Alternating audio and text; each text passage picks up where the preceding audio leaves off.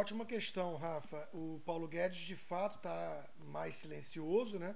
É, ele fez esse esforço todo de é, focar naquilo que, que, que dá para focar, né? Então, a, ele está tocando essa PEC emergencial que é fundamental. O país está sem orçamento, todo mundo sabe tem uma demanda urgente por, por extensão do auxílio, ao mesmo tempo não pode furar o teto. Então, ele está vendo isso com a sua equipe e também conseguiu, na mesma semana que teve essa confusão toda da Petrobras, ele conseguiu fazer avançar e o presidente ir pessoalmente né, para simbolizar esse apoio entregar a privatização dos Correios da Eletrobras.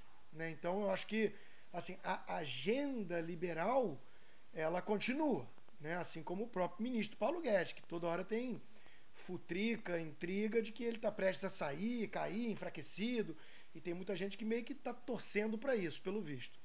Olha, é, eu tenho dito desde o início do governo Bolsonaro, porque eu tive aqui uma palhinha do que, que era com o governo Trump, que é fundamental na hora de analisar, né, separar a retórica do líder nacional populista das ações do seu governo.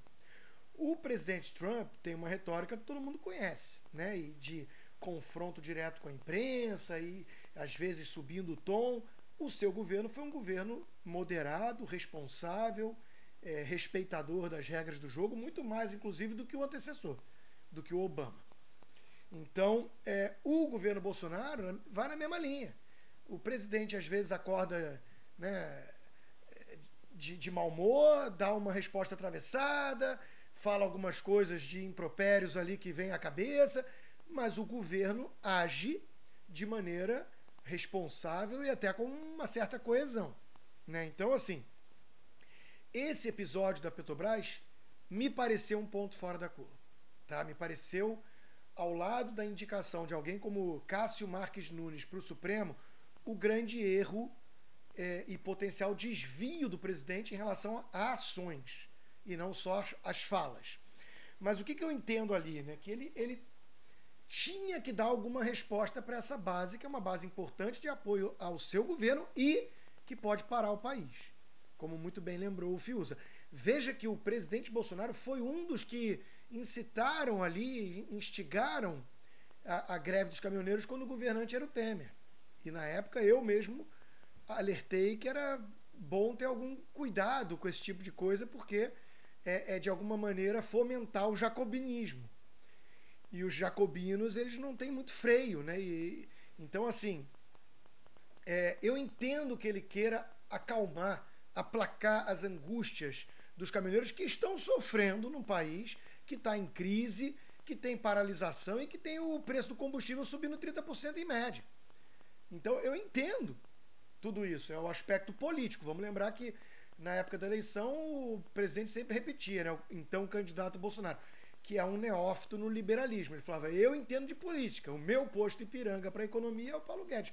Só que essas decisões elas perpassam a, a visão estritamente econômica.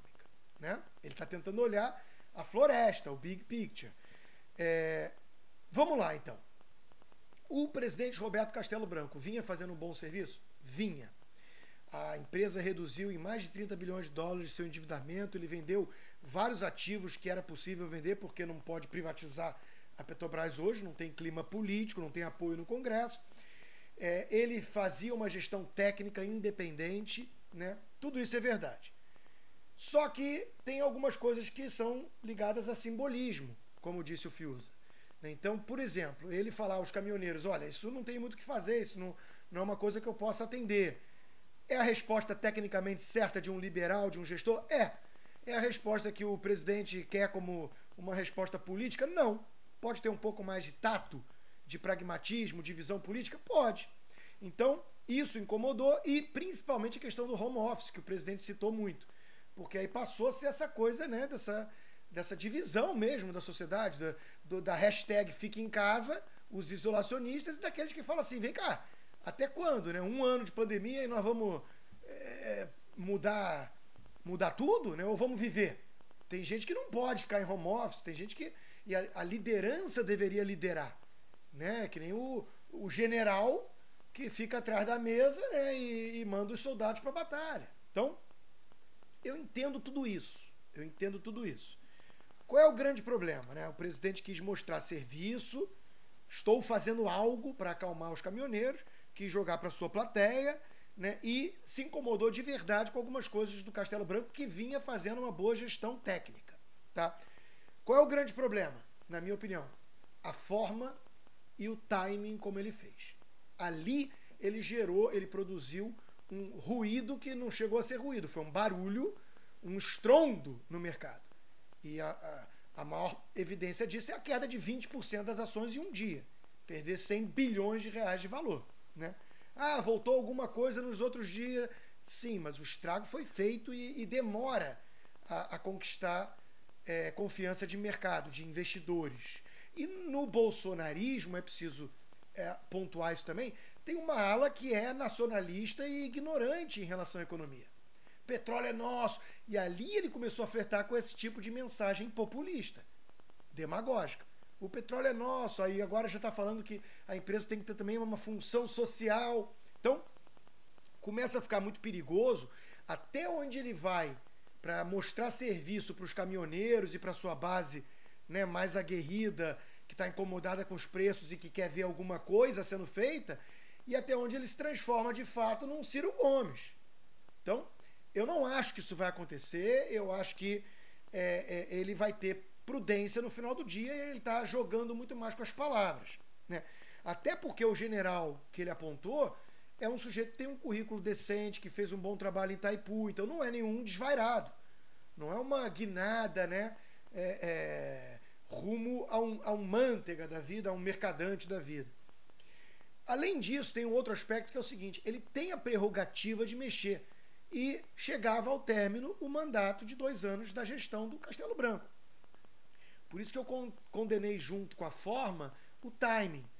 Né? Ele podia ter esperado acabar esse mandato, fazer uma troca mais sutil, só que aí ele não atenderia a necessidade de mostrar serviço para a plateia.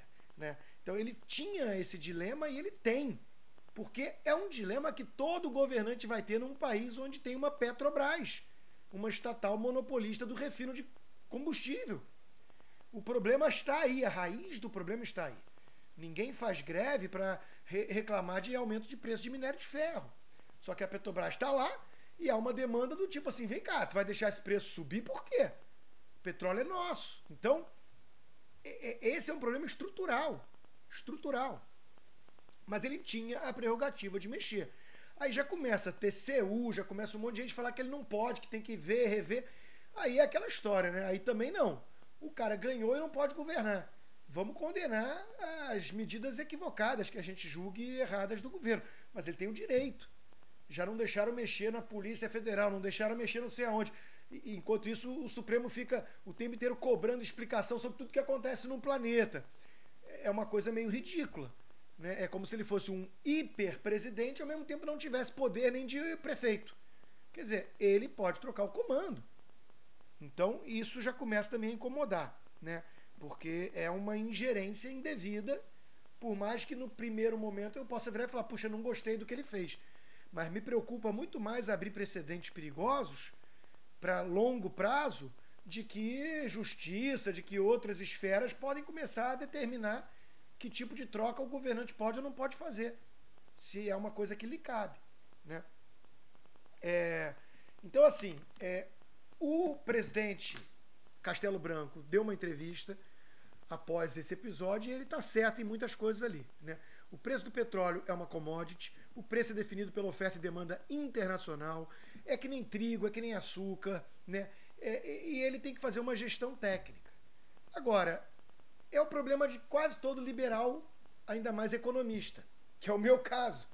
É um foco estritamente economicista, enquanto que a política é feita de nuances. Né? Então, eu acho que o presidente está tentando se equilibrar nessa corda bamba.